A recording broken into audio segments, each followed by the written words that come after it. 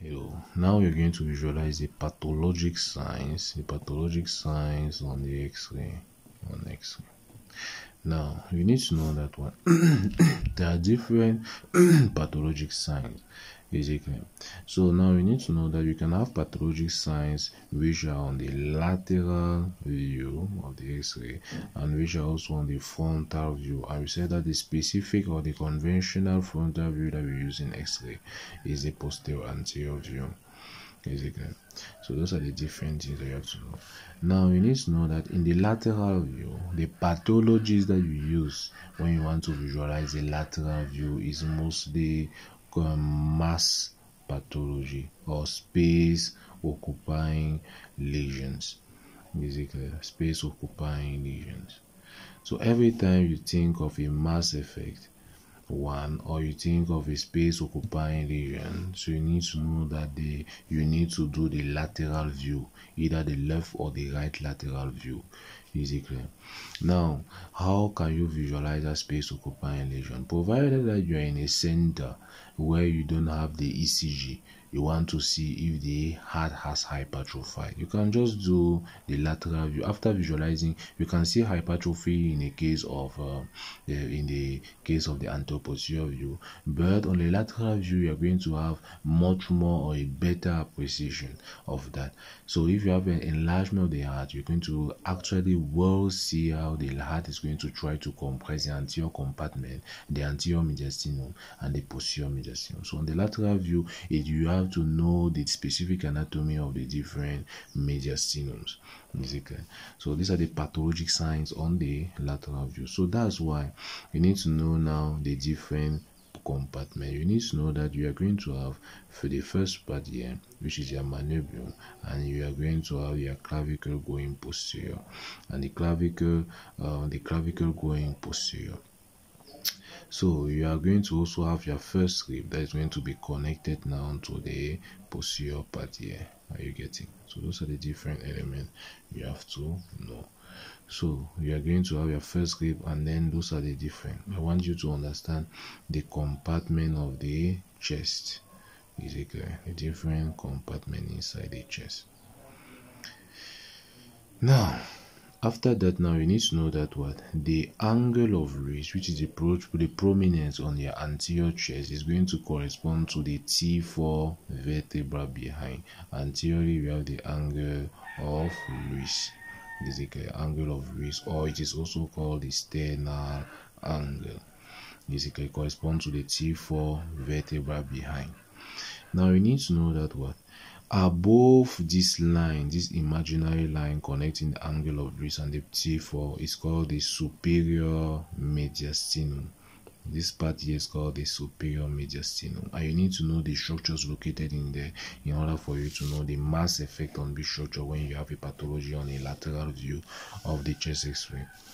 Now you need to know that what? Inferiorly inferior to this line you're going to have now the inferior mediastinum, inferior mediastinum.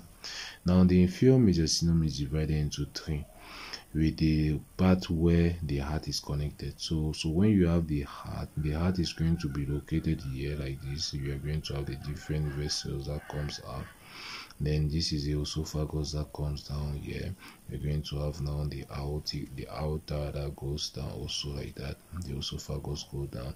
You have also the inferior vena cava the inferior vena cava directly enters the medial mediastinum here so those are the different structures you have the pulmonary vein separation is going to pass.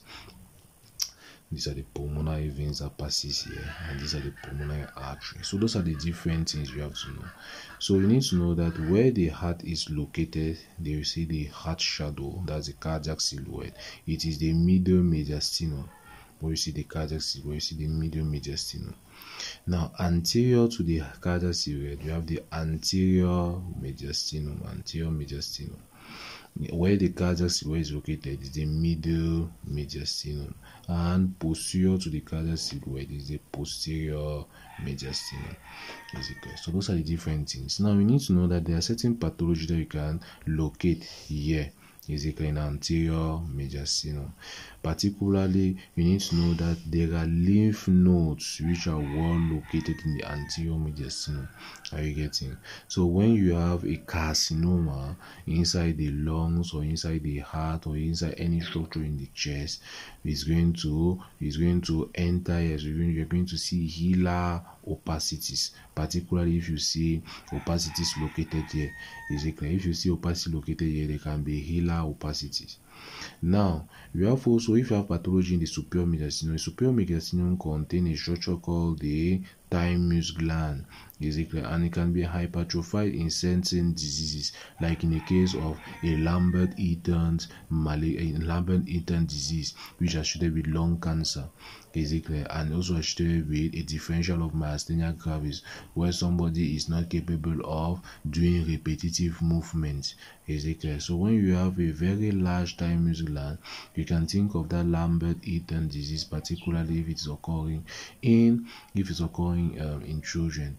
Another one we can think of the Catch syndrome in a case of a DiGeorge syndrome, DiGeorge, DiGeorge syndrome, which is made up of the element of catch physically. So when you have this thymus gland which is very large, you can think of other cases where you can have immunosuppression, and particularly in that you have the DiGeorge syndrome with the mnemonics, the catch syndrome, and the T correspond to the thymus gland abnormality and enlargement.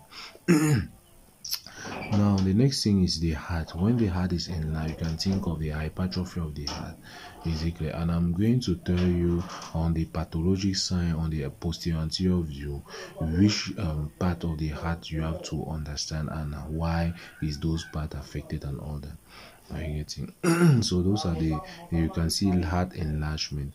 You can have also the aortic arc, the, the, the aortic arc which is hypertrophied, is it that we have a systemic hypertension, is it? You can have a pulmonary, the pulmonary artery that is hypertrophied that can be seen as hypertrophied in a case of a pulmonary hypertension. So those are the different structures which can tell you that there is mass effect. Or you can have also enlargement of the cardiac silhouette, particularly in case of a pericardial effusion. Basically, the cardiac silhouette is not going to be distinguished by the pericardium. You can only do only do that distinguish uh, that that you can only distinguish them if you're doing a cardiac ultrasound. Now, with the next part now is the posterior mediastinum. With the posterior mediastinum, you need to know that there are still lymph nodes located here. So you may have um, um, um diffuse opacities like which are which are which are uh, which are diffuse opacity which are lymphadenopathies is uh, which may tell you that there is a carcinoma somewhere the next one is that the esophagus may be enlarged. The esophagus may the esophagus may be small. Is it clear particularly in a case where the patient has taken a barium meal you see that there is an esophageal atresia when somebody is suffering or a dysphagia. Is it clear so those are all the pathology that you can you can you can learn from here. Is it clear you can also visualize for aneurysms like the the thoracic abdominal thoracic aortic aneurysm if you are going to have the aorta which is larger than a length of 3 centimeter 3 to 5 centimeters is it clear? So you're going to have now an um an, a thoracic um, aneurysm particularly we have usually abdominal aortic aneurysm but you can have also thoracic aortic aneurysms so all those are pathologies you can visualize from the lateral view of the x-ray particularly with mass effect or the space occupying lesions is it clear now we're going to visualize pathologic sign on the frontal view